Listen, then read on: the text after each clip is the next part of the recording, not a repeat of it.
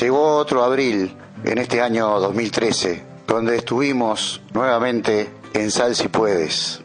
Nos referimos a una reivindicación histórica sobre el genocidio sufrido por nuestra nación charrúa, por nuestros abuelos, por nuestros ancestros, los cuales son nuestra guía de vida en la lucha y en principios y más que nada quiero resaltar en las actitudes diarias que tenemos. Tenemos la obligación de ser críticos y también autocríticos de este abril del 2013. ¿Por qué les digo? Hay espacios que no se deben ceder.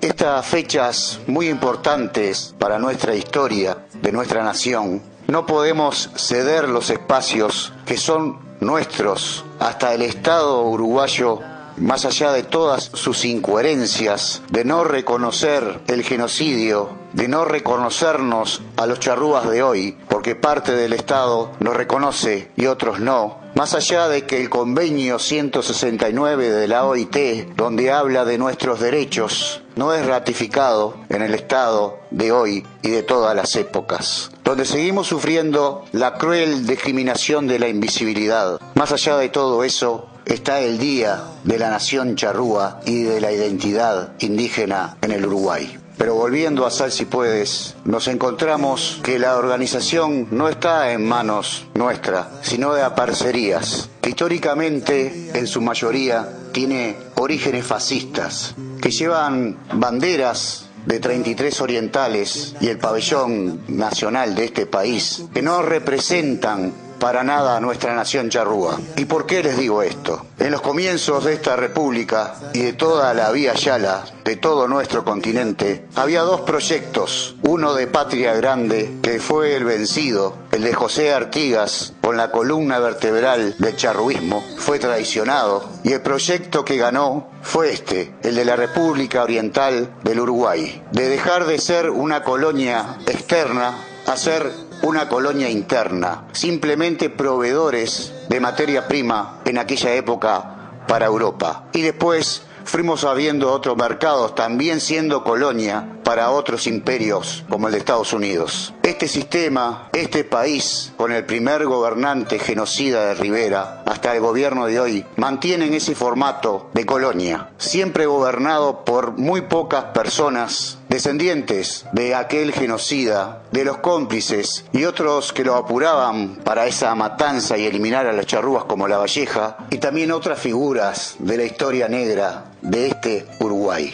Estuvimos recorriendo esas tierras de Taitucura, estuvimos en la escuela, en el monte, al borde del arroyo de Sal si puedes, con una importante crecida, meditando mucho y sintiendo a flor de piel lo sucedido en ese lugar. Pero a pesar de esa negra historia y que estábamos en un cementerio de nuestros abuelos, siempre que estuve ahí sentí una energía positiva, el lugar lleno de vida, aves de gran porte y un monte generoso que rodea ese arroyo.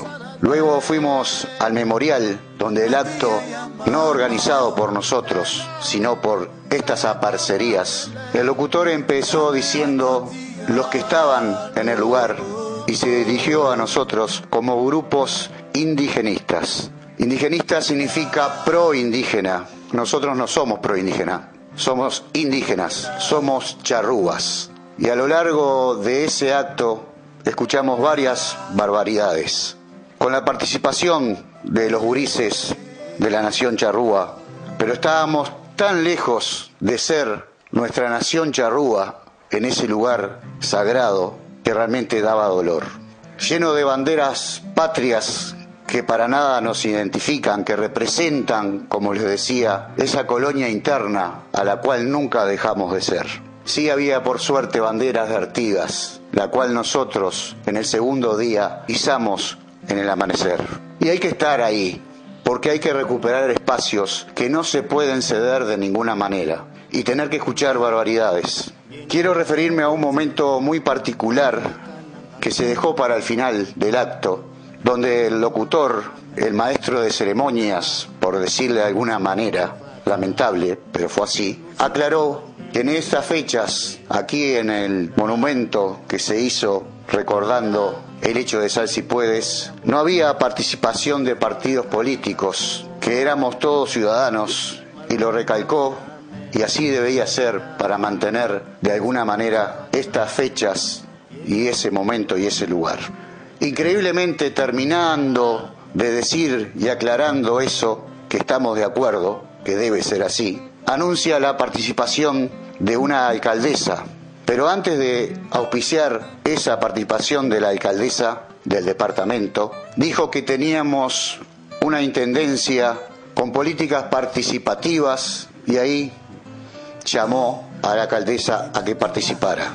Más incoherencia que esto y más falta de respeto a lo que estábamos ahí, que en un momento pensé en abrir esta boquita y luego dije, no, no vale la pena. Hay que hablar esto con, con nuestros hermanos, que hay muy valiosos en todo el país que estaban ahí presentes, que algunos vinieron de Entre Ríos, otros de Brasil, y simplemente me acerqué a uno de los integrantes del grupo Aquechua, un joven, y le comenté lo sucedido, que teníamos que hablar esto y dejar de ceder un espacio que realmente nos corresponde y que no nos falte más el respeto.